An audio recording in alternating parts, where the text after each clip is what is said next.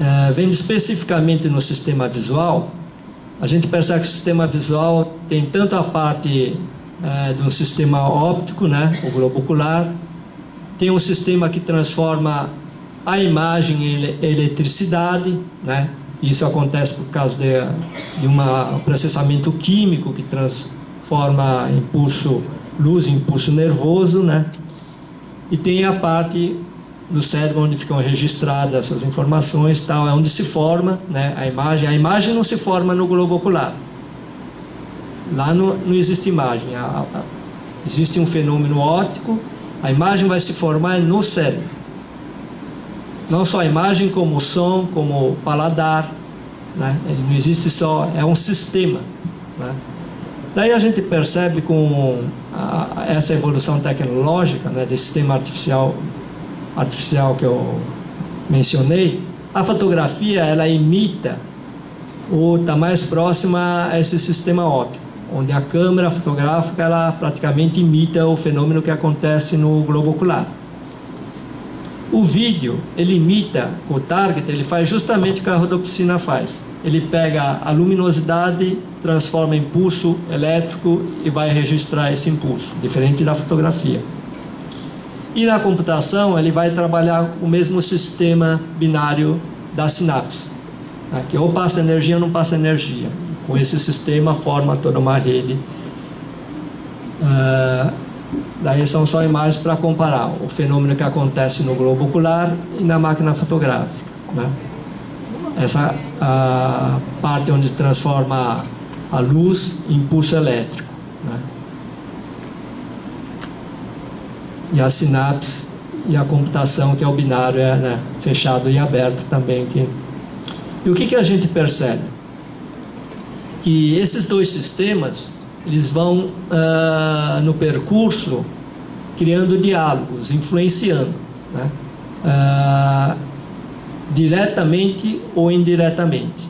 De que maneira?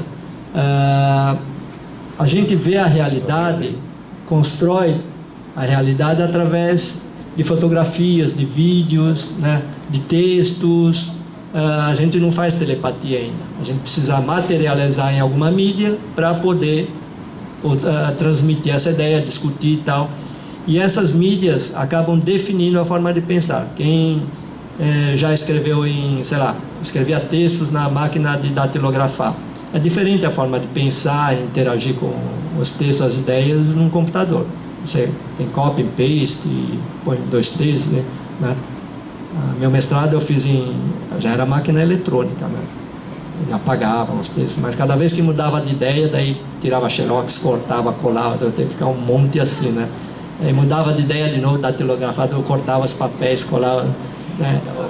Agora, trabalhando com o computador, nossa, você pega as ideias, já puxa, já vai na internet, puxa lá e faz, né? Nossa, a outra forma de raciocinar. E essa questão da nossa relação que eu passei esse slide, né? Como que o nosso pensamento ele é construído através dessas mídias, através, né? E agora está aparecendo essa questão da realidade aumentada que eu mencionei ontem, onde começam a aparecer imagens virtuais no real. Né? A gente imagina, até por ter a gente ficar imaginando coisas. A gente, agora a gente não imagina, a gente visualiza essas coisas no real. Né? Pega essa imagem, põe lá e põe umas outras imagens que eu posso estar pensando e sobrepõe as duas coisas. Então essa questão do corpo, da, da máquina, acho que está tendo uma convergência de mídias e o que está acontecendo muito é isso. A convergência de mídias, convergência homem-máquina. Aí que eu estou querendo chegar. Né?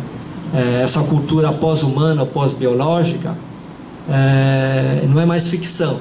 É uma coisa que estão nas pesquisas aí e tem pessoas né, é, que estão já tendo certas previsões que, sei lá, 2045 uh, ah, a inteligência artificial vai superar a inteligência humana. Né? 2000 e um pouco mais para frente uh, a medicina, a biotecnologia vai permitir que o homem sobreviva para a eternidade. Vai transferindo o pensamento, corpo para máquina, é uma coisa meio complexa, tal, mas tem, tem um teórico, um cientista chamado Ray Kurzweil, né? é um cientista muito respeitado, que ele é meio gênio. O primeiro programa de inteligência artificial ele fez aos 16 anos. Né? É uma coisa assim que. E as declarações dele, se você entrar no YouTube, põe, põe singularidade, o Ray Kurzweil. Ele tem vários depoimentos dele. Né? Ele fala que em 2045 o ser humano já vai uh, ter máquinas mais inteligentes que o ser humano e que o ser humano vai poder viver eternamente tal. Né? E cientificamente ele explica, ele está desenvolvendo pesquisas nesse sentido tal. Então, o que se, já não a questão da cultura não é só questão do nosso cotidiano, é o que está para vir aí, né? Como que a gente vai, a gente tem que discutir essas questões para da mesma forma da célula tronco, né? Toda essa discussão. Então, os artistas eles vêm trabalhando nessa área também. Né? Tem várias posições, várias posturas, como eu falei do, do Estelar, que ele fala que o corpo está ultrapassado, a gente tem que otimizar. Né? Esse daqui não é, o Carmen Warnig é, é, um cientista da computação, não é artista, mas tem essa proposta também, ele quer se tornar um ciborgue. Então ele se implantou um chip, ele fala assim, quem manda a informação para essa mão se mexer é o meu cérebro. Então o meu cérebro manda uma informação até a mão. Ele põe um chip no meio, e esse chip recebe a informação e transfere para o computador e o computador transfere para um braço eletrônico e pode mexer o braço. Já tem pesquisas com macacos fazendo isso daí também. Mas ele tem várias teorias assim que ele quer implantar na mulher dele, na esposa, e o que um sente, o outro pensa, o outro sente, é sabe, essas comunicações, né, que são sinais. E essa daqui já é uma pesquisa antiga, eu peguei acho que nos anos, final dos anos 80, que mostrava as pesquisas que tinham na época de é, partes artificiais. Então tinha cabelo artificial, já tinha pesquisa de olhos artificiais, orelha, pele artificial, sangue, nervo, e já na medicina já tem, de fato, hoje já tem várias dessas uh, pesquisas, se não mais ficção, mas já uh, fatos que utilizam, tal, né? Então, praticamente é assim: essa ideia que a medicina e a tecnologia vai produzindo, uh, vai proporcionando maneiras de resolver nossos problemas, tal, doenças, né, essas questões. Esse daqui é um médico cirurgião que ele diz que o homem tem uma estrutura que poderia ter criado asas, mas não criou asas, né, evolução. Mas que ele tem esse projeto que poderia proporcionar isso daí. Né? Da mesma forma, o estelar que modificando o corpo, né? Essa daí é. Na verdade era a orelha do lado da outra que tinha uma comunicação, era conectada à rede e tal, e transmitia, conversava, mas ficou só uma orelha. Esse do Eduardo Kac, né?